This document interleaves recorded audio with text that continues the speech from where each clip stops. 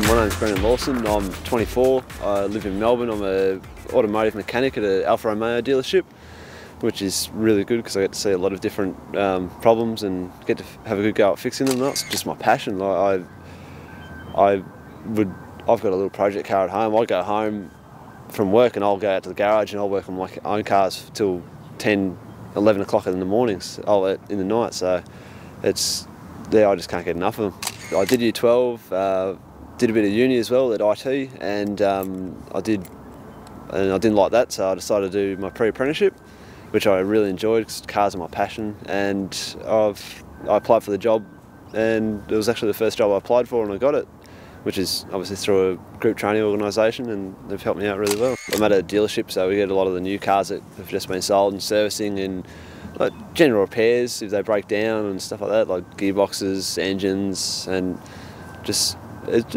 normal sort of workshop. We do a lot of diagnostic work, diagnosis work, because like in the Alfas, for instance, there's uh, about 12 different computers in them at least, so there's a lot of computer work in them. Um, still lots of mechanical sort of stuff, like you're obviously going to have your mechanical breakdowns, but a lot of problems having with the electronic side of things as well. So it's a good good learning base. I'm not working on, I'm not learning on stuff that's out of date or anything like that. I'm up to the industry standards and learning all the new technology.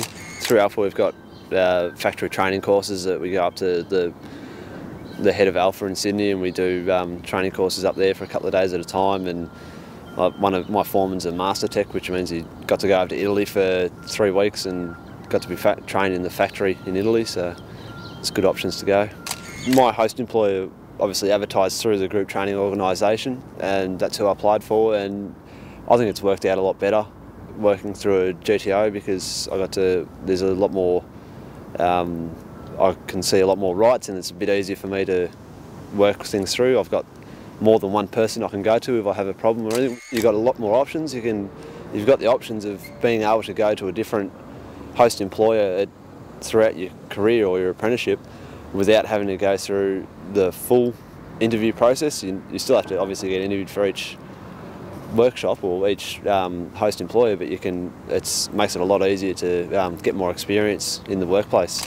My uh, field officer's really good. He's, he comes from the automotive industry, so he knows what it's like to be in the workshop. He's happy to come out and he comes out and sees me and he's happy for me to ring him if I have any dramas. Basically, they've always said to me if I have any dramas at all, to give him a ring and they'll help me. They've helped me out with trade school things and my payments at trade school and doing my and getting me enrolled and all that sort of stuff. So they've been quite helpful. Because I worked at the um, the F1s in Melbourne, doing the um, celebrity race for the Fiats, and I've done uh, worked at the motor show in Melbourne and a few other things. But so far, yeah, today's skills, tomorrow's leaders definitely been the highlight of my career so far. It's a great opportunity.